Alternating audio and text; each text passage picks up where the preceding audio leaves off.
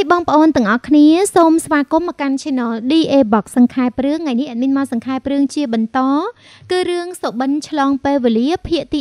13សម្រាប់បងបងបងប្អូនដែលចង់ឧបត្ថម្ភលើកទឹកចិត្ត admin ណាអាចផ្ញើជាថវិកាមកកាន់កណនីធនាគារ ABA របស់ admin ដោយដែលបានណូតបញ្ជាក់នៅលើវីដេអូនឹងរួចជាស្រេច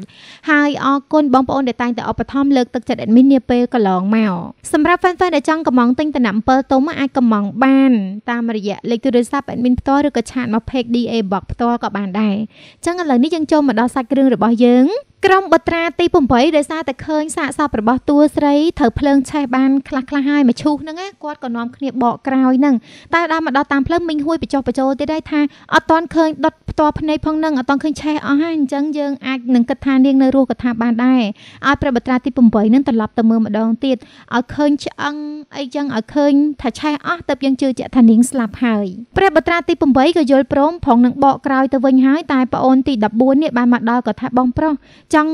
តាមដល់ណានាងស្លាប់ទៅហើយមិនប៉ុណ្ណឹងអត់ទាន់អស់ចិត្តទៀតមែនទោះតែឃើញឆ្អឹងឃើញផេះបានអស់ចិត្តមែន គាត់ដេញឲ្យអ្នកទាំងអស់គ្នាទៅវិញទៅគាត់សុំវហើយម្នាក់ម្នាក់ដឹងថាយានទីបត្រាទី14ហ្នឹងក៏ស្រឡាញ់តួស្រីដែរដូច្នេះគេក៏យល់ព្រមត្រឡប់ទៅវិញទៅ ព្រះបត្រាទី14ឈោមើលទៅកាន់មឈូសតួស្រីដែលគេកំពុងតែដុតភ្លើងឆេះសន្ធោសន្ធើនឹងទាំងសែតតែប៉ុណ្ណេះលាគ្មានថ្ងៃជួបហើយហើយចំណែកឯមីងហួយគាត់សលួចស្រឡាញ់បត្រាទី14ដូចគ្នាគាត់ក៏រៀងសែតដូចគ្នាដែរពួកគេមើលហើយក៏ចេញដំណើរទៅរៀងរៀងខ្លួនទៅបត្រាទី4នៅពេលដែលឃើញថាអស់មានមនុស្សនៅនឹងហើយគាត់ក៏បញ្ជាឲ្យកូនចៅរបស់គាត់ដងទឹកមកជះពលុតភ្លើងនឹងភ្លើងនឹងក៏អលុតទៅអស់គាត់ ក៏បើកមឈូស3តួស្រីចេញមកក្រៅតួស្រីអត់ឆេះទេដោយសារតែគេដេអាកណាត់ក្រហមរុំហ្នឹងគឺការពារកម្ដៅអត់ឲ្យក្ដៅដល់ខាងក្នុងឡើយអញ្ចឹងព្រះបត្រាទី4ជាអ្នកជួយតួស្រីចេញក្នុងអំឡុងពេលហ្នឹងបត្រាទី4បានយកតួស្រីចេញមកក្រៅក្រុងហើយហៅពេទ្យទាំងអស់មកឲ្យជួយព្យាបាលតួស្រីដោយសារគាត់ត្រូវថ្នាំពុលសន្លប់ស្ដុកស្ដឹងទៅហើយពេទ្យទាំងអស់គឺសិតតែគ្មានវិធីអាចជួយជីវិតតួស្រីបានឡើយព្រះបត្រាទី4ខឹងពេទ្យទៀតធ្វើជាគ្រូពេទ្យមិនក៏ព្យាបាលប៉ុណ្ណឹងក៏មិនបានដែរគាត់រកគ្រូពេទ្យមកច្រើនណាស់ចុងក្រោយក៏បានជួបជាមួយគ្រូពេទ្យម្នាក់គាត់ថាតើតែចាក់មកជុលយកឈាមពុលនឹងចេញពីក្នុងខ្លួនតួស្រីទៅអាចធូរស្បើយបានតែគាត់អត់ដែលធ្លាប់ធ្វើទេអញ្ចឹងទៅវាបន្ថយនឹងគ្រោះថ្នាក់គាត់មិនអាចធានាថាអ្នកនាងអាចមានជីវិតរស់ឡើងវិញបានឡើយអញ្ចឹងគាត់អត់ហ៊ានចាក់ហ្មងណាទៅបត្រាក៏ថាបើសិនជាលោកមិនធ្វើទេទុកឲ្យខ្ញុំធ្វើជាអ្នកជាអ្នកធ្វើខ្លួនឯងគាត់ក៏យកមកជុលទៅចាក់លើស្បែករបស់តួស្រីទាំងភ័យភ័យឲ្យវាចេញឈាមខ្មៅជាតិពុលចេញមកហើយគាត់ រៀងធូរចិត្តដែរគាត់អាចធ្វើបានហើយប្រហែលជាសៀវវ័យអាចដឹងខ្លួន តែតួស្រីរបស់យើងក្នុងអំឡុងពេលដែលគាត់កំពុងតែស្លាប់ស្ដុកស្ដឹងអត់ដឹងខ្លួននេះគាត់ដឹងខ្លួនឡើងម្ដងទៀតស្រាប់តែគាត់កំពុងតែនៅលើរថភ្លើងជិះទៅធ្វើការរាល់ថ្ងៃហ្នឹងគាត់ឆ្ងល់មែនទែនមិនក៏គាត់មកអង្គុយលើរថភ្លើងទៅវិញគាត់ក៏លេចទៅឃើញឈុនហួរស្លៀកពាក់តាមបែបសម័យថ្មីនឹងកំពុងតែដើរនិយាយទូរស័ព្ទគាត់ក៏រត់តាមឈុនហួររហូតដល់ស្រែកឈុនហួរឈុនហួរតែឈុនហួរអត់ឮសំឡេងរបស់គាត់ទេឈុនហួរទំនងជាឆ្លោះគ្នាជាមួយសង្សារខឹងសង្សារបោកទូរស័ព្ទចោលទៀតហើយអង្គុយយំតែម្នាក់ឯងតួស្រីឃើញបែបហ្នឹងក៏ចូលទៅលួងឈុនហួរមានរឿងអីកើតឡើងតែប៉ះឈុនហួរអត់បាននិយាយទៅតួស្រីរបស់យើងคล้ายទៅជាដូចវិញ្ញាណទៅហើយប៉ះគេមិនក៏ប៉ះអត់បានដែរគាត់ភ្ញាក់ផ្អើលមែនទែនគាត់ថាហេតុអីបានគេប៉ះគាត់អត់បានគាត់ប៉ះគេក៏អត់បានដែរឬក៏ខ្ញុំគ្រាន់តែជាការយល់សប្តិយល់សប្តិមកទីនេះតែប៉ុណ្ណោះហើយឮសំឡេងគេហៅគាត់សៀវវ័យសៀវវ័យគាត់ខំអើតមើលទៅលើអាកាសចឹងណាតាមពិតនេះគឺជាបត្រាទី4កំពុងតែហៅគាត់ឲ្យដឹងខ្លួនហើយស្ទាបមើលឃើញថាសៀវវ័យបើយើងក្តៅខ្លួនខ្លាំងព្រះបត្រាទី4បារម្ភខ្លាំងក៏អោបតួស្រីយោ ហ្មងឲ្យដើម្បីឲ្យបានកក់ក្តៅឯឈុនហួរកំពុងតែអង្គុយយំយំស្រាប់តែមានបរិះម្នាក់រើសទូរស័ព្ទឲ្យហើយថែមទាំងឲ្យកសែងជូតទឹកភ្នែកថែមទៀតផងគាត់ងើបមុខឡើងសម្លឹងមើលទៅឃើញថាជារីកទីយាតក៏អត់ចាំពីអតីតកាលក្នុងភពដើមរបស់គាត់ទេតែសំខាន់ពេលដែលគាត់ជួបគ្នានៅក្នុងភពបច្ចុប្បន្នហ្នឹងមើលទៅដូចមាននិស័យ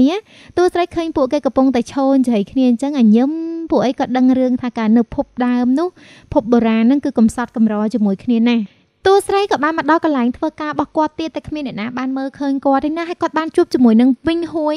នៅភពបច្ចុប្បន្នណាវិញហួយក៏ជាអ្នកធ្វើការងារជាមួយគាត់ដូចគ្នាដែរហើយស្អប់គាត់9រកវិធីធ្វើម៉េចធ្វើបាបគាត់បដិញចេញបដិញគាត់ចេញពីក្រុមហ៊ុននេះចឹងណារកវិធីសັບគ្រប់បែបយ៉ាងហើយឥឡូវហ្នឹងតួស្រីរបស់យើងបាត់ខ្លួនពួកអីគាត់ទៅនៅអតីតកាលបាត់ឯហ្នឹងអញ្ចឹងបាត់ខ្លួននឹងក្នុងភពសម័យបច្ចុប្បន្ននេះគេរកតួស្រីអត់ឃើញសោះ ដែលខាងមីងហួយក៏ថាសំមុខសៀវវ័យហើយគាត់កំពុងតែស្អប់ផងខ្ញុំក៏មិនដឹងដែរថាហេតុអីបាននៅសុកសុកខ្ញុំស្អប់គេ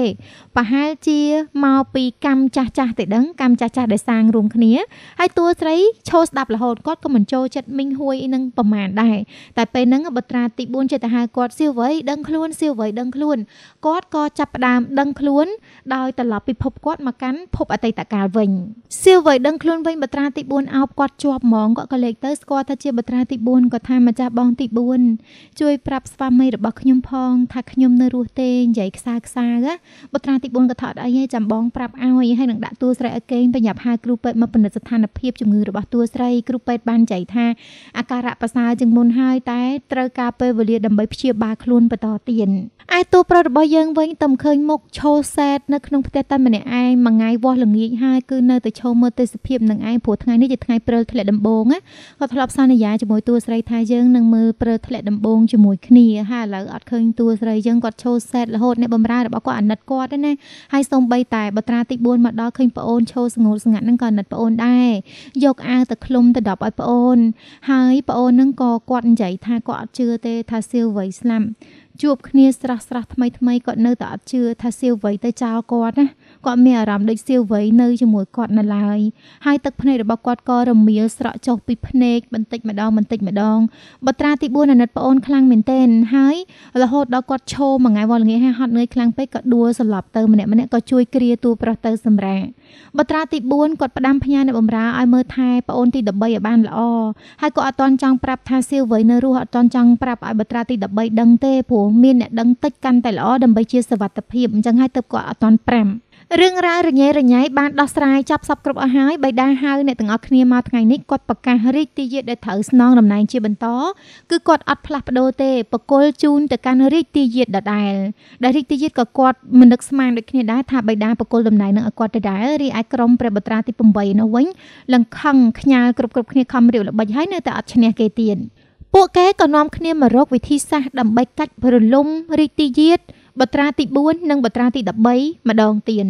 បត្រាទី14វិញថ្ងៃនេះគាត់នឹករលឹកតួស្រីខ្លាំងមែនទែនមិនដឹងទៅបញ្ចេញកំហឹងដាក់ណាគាត់ក៏ទៅបញ្ចេញកំហឹងដាក់មីងហួយថាហេតុអីបានធ្វើអញ្ចឹងដាក់មីងវ័យមិន មីងវ័យស្លាប់សំចិត្តនាងហើយអីហើយថែមទាំងទៅច្បាច់កមីងហួយថែមទៀតមីងហួយប៊ីសថប់ដង្ហើមស្លាប់ដែរហ្នឹងណាមីងហួយខំបារះចេញយ៉ាងលឿនហើយប្រាប់ថាអ្វីដែលខ្ញុំធ្វើគ្រប់យ៉ាងគឺដោយសារតែភាពលំអៀងលំអៀងតាំងតែពីកើតគាត់គឺជាកូនប្រពន្ធចុងមីងវ័យគឺជាកូនប្រពន្ធដើម ហើយម្ដាយគេថែរក្សាស្រឡាញ់កូនមានរឿងអីក៏មកវាយគាត់ចោតប្រកាន់គាត់អញ្ចឹងទៅធ្វើគាត់មានកំហឹងណាគាត់បានបដិញ្ញាចិត្តតាំងពីក្មេងថាបើសិនជាគាត់មិនការពារខ្លួនគាត់គ្មានអ្នកណាការពារគាត់ទេដូច្នេះហើយទៅគាត់ប្រើវិធីនេះដើម្បីការពារខ្លួនឯងហើយនឹងយកឈ្នះមីងវ័យគាត់គិតថាខាងបត្រាទី14ក៏មិនសូវខុសពីគាត់ដែរតែបត្រាទី14ថាគ្មានទេខ្ញុំខុសពីនាងយើងមិនដូចគ្នាឡើយហើយនឹងដើរចេញទៅបាត់ទៅអាណិតទទួលប្រុសរបស់យើងទេឈឺហើយមើលទៅដូចមានកម្លាំងកំហែងសោះសូម្បីតែកេងក៏ទឹកភ្នែកស្រក់ហូរចុះមករហូត ក្នុងចិត្តនឹកឃើញសម័យដល់តែមុខរបស់តួស្រីតែប៉ុណ្ណោះហើយអាណិតខ្លាំងមែនទេអ្នកបាត់បង់ស្នេហា ឯតួស្រីវិញក៏បានធូរស្បើយក្រនបាហើយមីងវ័យគិតថាបត្រាទី13គិតថាគាត់ស្លាប់មិនដឹងថាពិបាកចិត្តប៉ុណ្ណាទេក៏ចង់ប្រាប់ថាគាត់មិនទាន់ស្លាប់ទេឲ្យបត្រាទី13ដឹងណា តែខាងបត្រាទី4គាត់និយាយថាអត់ទាន់ដល់ពេលទេចាំពេលដែលនាងជាសះស្បើយខ្ញុំនឹងប្រាប់រឿងនឹងទាំងអស់ឲ្យប្អូនទី13បានដឹងឥឡូវនឹងប្រាប់អត់ទាន់បានខ្លាចមានគ្រោះថ្នាក់ទាំងអស់គ្នាតួប្រុសរបស់យើងបន្ទាប់ពីថ្ងៃនោះមកក៏គាត់ផឹកស្រាកាត់សែតខ្លាចទៅជាមនុស្សពមឹកគេនាំគ្នាដើរបបបាញ់សត្វព្រៃដូចរាល់ដងអញ្ចឹងតួប្រុសរបស់យើងក៏មកបបបាញ់ជាមួយគេតែមើលមុខទៅមិនជាស្រស់ស្រាយអីឡើយហើយយប់ឡើងគេកំពុងតែហូបអីជុំគ្នាតួប្រុសរបស់យើងគិតតែផឹកផឹកហើយណាគេនិយាយប៉ះពាល់គាត់ប៉ះពាល់តួស្រីអីហ្នឹងនិយាយដើមគាត់ហ្នឹងគឺគាត់ស្ដីឲ្យភ្លាមភ្លាមមិនថាជាបងឬក៏អីទេដែលកប្បកិរិយាបែបហ្នឹងគេដឹងគ្រប់គ្នាហើយថាដោយសារតែមីងវ័យស្លាប់ចោលគាត់ហើយតួប្រុសផឹកផឹករហូតសូម្បីតែគេផឹកគេងអស់ហើយហ្នឹងណាហើយតួប្រុសចេញមកខាងក្រៅអង្គុយផឹកតែម្នាក់ឯងទៀតបត្រាទី14ក៏គាត់បារម្ភពីបងរបស់គាត់ដែរបារម្ភពីតួប្រុសហ្នឹងគាត់ក៏ចូលមកខាត់ អត់ឲ្យផឹកទៀតទេតែបត្រាទី13នៅតែថាគាត់ចង់ផឹកឲ្យស្រាមកគាត់វិញមកគាត់ទាផឹករហូតណាបត្រាទី14ខឹងខ្លាំងក៏ចាប់ផ្ដើមវាយផ្ដួលបត្រាទី13ឲ្យដេកដួលនឹងទៅគាត់ថាអឺម្ចាស់បងទី13ដែលយើងស្គាល់មិនមែនអតចរិតបែបនេះទេ នាងស្លាប់ហើយបណ្ដាច់បណ្ដោយទៅដោះលែងនាងទៅយើងនៅរស់ត្រូវធ្វើរបៀបអ្នកនៅរស់អត់ឲ្យធ្វើអញ្ចឹងទេឯតួប្រអត់ខ្វល់គិតតែពិសេសហើយនឹងនិយាយថានាងស្លាប់ហើយនាងស្លាប់ហើយ ដល់តែពេលតួស្រីគាត់នៅនៅគាត់នឹកឃើញថាបាត់បន្តោងគុជដែលតួប្រុសឲ្យគាត់បន្តោងគុជដែលសល់ពីគេអ្នកម្ដាយតួប្រុសឲ្យគាត់ណាហើយគាត់ចាំបានថាគាត់ទុកនៅក្នុងហប៉ៅហើយឥឡូវវាបាត់ចឹងទៅសួរអ្នកបំរើអ្នកបំរើថាហាខោអាវកាលពីថ្ងៃឥឡូវសាអស់ហើយប្រហែលជាវាអាចជ្រុះកប់នៅព្រិលនឹងបាត់ហើយព្រោះរដូវធ្លាក់ព្រិលហ៎អញ្ចឹងទៅតួស្រីលឺទៅអញ្ចឹងក៏ស្វាមកកាយព្រិលនឹងមើលអត់ទេអារបស់ហ្នឹងគឺគាត់ត្រូវទៅរកមកវិញឲ្យឃើញព្រោះជារបស់សំខាន់រវាងគាត់ជាមួយនឹងតួប្រុសរបស់យើងណានៅតែព្យាយាមរនឯងទោះបីជាគេចាប់អត់ឲ្យរយ៉ាងណាក៏ដោយបើត្រាទី4មកក៏ហាមដែរតែតួស្រីក៏ថាបែកហាមខ្ញុំទេរបស់នេះសំខាន់សម្រាប់ខ្ញុំណាខ្ញុំត្រូវទៅរកវាឲ្យឃើញបើត្រាទី4ក៏ស្ដីឲ្យតួស្រីថាមិនក៏នាងធ្វើអញ្ចឹងពួកយើងបថុយទាំងជីវិតបថុយទាំងគ្រោះថ្នាក់ដើម្បីជួយជីវិតនាងជីវិតនាងមានតម្លៃខ្លាំងណាស់ហើយមិនក៏យកមកបដូរដោយសារតែរបស់អស់នឹងអត់បារម្ភពីអ្នកដទៃវិញខ្លះទេហីដល់ពេលតួស្រីឮបត្រាទី4ថាគាត់អញ្ចឹងគាត់ក៏ព្រមស្ដាប់តាមអត់រោគបតោងគុជនឹងទេ ចូលសម្រាកតាមតែព្រះបត្រាទី4 5 ហើយចំណែកឯតួប្រុសវិញនៅពេលដែលទៅជួបព្រះបិតាឬក៏ជួបបងបងខ្លួនឯងធ្វើរៀងរឹងមាំតែធិតពិតនៅខាងក្រោយខ្នងគឺនឹកតួស្រីរយយប់គេអត់លក់ទេសុកចិត្តងើបមកដើម្បីគូររូបគោមគូររូបបិទក្នុងគោមហ្នឹងហើយគាត់បានធ្វើគោមយ៉ាងច្រើនអង្គុយគូររូបហើយបិទគោមអង្គុយគូររូបហើយបិទនៅក្នុងគោមហ្នឹងឯងនេះបំរើរបស់គាត់ឃើញតួប្រុសស្ទែតបែបហ្នឹងគឺអាណិតខ្លាំងមែនទែនយប់ប្រលប់ហាអត់ព្រមគេងទៀតរហូតដល់អ្នកបំរើទ្រាំមិនបានក៏យករឿងហ្នឹងមករាយការណ៍ប្រាប់ដល់បត្រាទី4ថាគួរតែប្រាប់ការពិតដល់បត្រាទី13ហើយមើលតើអាណិតគាត់ខ្លាំងគាត់នឹកអ្នកមនាងស៊ីវវៃរាល់ថ្ងៃអត់កេងអត់ពួនទេបាយទឹកក៏មិនសូវបានថែមទៀតមានតែវិធីនឹងឯងដែលអាចជួយគាត់បានបើមិនអញ្ចឹងទេគាត់អាចនឹងឈឺឆាប់ឆាប់ឬក៏អាចគ្រោះថ្នាក់ថែមទៀត ខាងបត្រាទី4នេះណាគ្មានអារម្មណ៍ល្អជាមួយនឹងភរិយាគាត់ទេមហេសីរបស់គាត់ចង់បញ្ចុកបាយបញ្ចុកទឹកនិយាយយកចិត្តមិនក៏គាត់អត់ខ្វល់ខ្វាយជាមួយដែរឲ្យតែពេលតនេគឺគាត់ឆ្លៀតមកជួបតួស្រីរហូតអញ្ចឹងទៅខាងប្រពន្ធរបស់គាត់នឹងពិបាកចិត្តតែមិនដឹងថាគួរស្ដីថាយ៉ាងម៉េចមានតែសំងំលាក់ទុកនឹងឯងហើយគាត់ថ្ងៃហ្នឹងមកជាមួយតួស្រីដោយសារតែជាថ្ងៃពិសេសខួបកំណើតរបស់បត្រាទី4នឹងឯង ហើយតួស្រីដឹងថាថ្ងៃនេះជាថ្ងៃខួបកំណើតរបស់បត្រាទី4គាត់ក៏រៀបចំនំនេកស្រាអីជូនម្ចាស់បងខ្លួនឯងអញ្ចឹងណាម្ចាស់បងក៏ព្រួយតួស្រីផឹកផឹកមែនតាផឹកចុះផឹកឡើងរហូតដល់សវឹងក៏ចាប់ដៃតួស្រីជាប់ហើយនឹងសារភាពស្នេហ៍ទៅកាន់សៀវវ័យថាសៀវវ័យកុំស្រឡាញ់ប្អូនទី13អីដូរចិត្តម្ដងទៀតទៅស្រឡាញ់ខ្ញុំវិញទៅខ្ញុំពិតជាស្រឡាញ់នាងទោះបីជាតួស្រីព្យាយាមទាញដៃចេញយ៉ាងណាក៏ដោយក៏បត្រាទីបត្រាទី4អត់ស្ដាប់ដែរដូចលក្ខណៈគាត់ជំនះ ចង់ចង់ចាប់តួស្រីអញ្ចឹងតួស្រីក៏ស្វារើខ្លួនចេញហើយនឹងស្រែកថាម្ចាស់បងម្ចាស់បងធ្វើអីហ្នឹងម្ចាស់បងនៅតែរត់ទៅចាប់តួស្រីទៀតតួស្រីផ្ទះក៏ភ្លៀងបដ ாய் ជារឿងដែលគួរឲ្យភ្ញាក់ផ្អើលមែនទែនបត្រាទី4ស្វាងបដ ாய் គាត់និយាយតាមត្រង់គាត់ថាអ្វីដែលគាត់និយាយជាការពិត ឲ្យតួស្រីសម្រាប់ចិត្តម្ដងទៀតទៅអាចជ្រើសរើសយកគាត់បានណាតែតួស្រីក៏ថាសុំទោសម្ចាស់បងទោះជាឲ្យខ្ញុំគិតយ៉ាងណាគឺវានៅតែចេញលទ្ធផលប៉ុណ្ណឹងដែរព្រោះមនុស្សប្រុសដែលខ្ញុំស្រឡាញ់បំផុតក្នុងឆាកជីវិតនេះគឺបត្រាទី13ខ្ញុំស្រឡាញ់តែគេម្នាក់ទេសូមម្ចាស់បងមេត្តាចាក់ចេញចោះហើយអាណិតបត្រាទី4ដែលលឹងសែន តួស្រីរបស់យើងយកមកគិតថាបើគាត់នៅទីនេះទៀតអត់កើតទេអាចដោយសារតែបត្រាទី4ស្រឡាញ់គាត់តែដឹងទៅបានជាអត់ព្រមយករឿងនឹងទៅប្រាប់ប្រាប់បត្រាទី13ឲ្យបានដឹងព្រោះមកដល់ថ្ងៃនេះហើយបត្រាទី13នៅតែគិតថាគាត់ស្លាប់បាត់ទៅហើយអញ្ចឹងទៅស្អែកឡើងគាត់ក៏ចាប់ផ្ដើមរោផ្លូវចេញខាងក្រៅផ្ទះនឹងហ្មងលើកនឹងលួចចេញណាដែលគាត់បានធ្វើដំណើរទៅដែលបន្លំខ្លួនចូលទៅក្នុងរទេសជាមួយនឹងខាងរាជពេទ្យអីចឹងទៅដែលគេអត់ស្គាល់គាត់ហ្នឹងណាគាត់លួចចេញបានសម្រេចមែនតើ ហើយចេញមកដល់ខាងក្រៅអត់មានលុយនៅនឹងខ្លួនទេចង់ធ្វើដំណើរអីក៏ពិបាកដែរគាត់ជួលគេឲ្យជូនគាត់ទៅកន្លែងមួយតែអត់មានលុយឲ្យមានតែឲ្យកងដៃដែលព្រះមហាក្សត្រប្រទានឲ្យគាត់រកងដៃពណ៌ខៀវហ្នឹងហើយស្របពេលនឹងដែរដោយសារតែបាត់ខ្លួនគាត់បត្រាទី4របស់យើងបានបញ្ជាឲ្យគេតាមរកតួស្រីនឹងឯងតួស្រីក៏ឃើញតាហ៊ានមកក៏សុំចូលក្នុងផ្ទះគេពួនសិនហើយអ្នកផ្សេងផ្សេងទៀតគេក៏តាមរកតួស្រីគឺទៅតាមឆែកឆេរដល់ក្នុងផ្ទះរបស់អ្នកស្រុកអ្នកភូមិដែរហើយដល់ពេលទៅតួស្រីខំចូលទៅពួនក្នុងបន្ទប់ហើយដល់ពេលទៅព្រះបត្រាទី4ដើររកសពគ្រប់ហើយអត់ឃើញទេតែគាត់សង្ស័យបន្ទប់ហ្នឹងគាត់ក៏សម្រេចចិត្តថាដើរទៅបើកបន្ទប់ហ្នឹងតែតួស្រីគឺយកដៃរាំងទ្វារនឹងជាប់អត់ឲ្យរុញចូលបានទេចាក់កលឹះហើយរុញចូលគឺរាំងជាប់រុញចូលគឺរាំងជាប់បត្រាទី4ក៏ឃើញសមោស្ទងស្ទងដែរហ្នឹងក៏គិតថាជាសៀវវ័យហើយតែគាត់អត់បខំទេមិនដឹងថាសៀវវ័យខ្លាចគាត់ប៉ុណ្ណាបណ្ដាថ្នាក់រត់កិច្ចពីគាត់ចឹងណាគាត់ក៏សម្រេចចិត្តថាឈប់តាមដើររកតួស្រីពីពេលហ្នឹងតទៅប្រមូលទាហានចូលទៅកាន់ដំណាក់របស់គាត់វិញ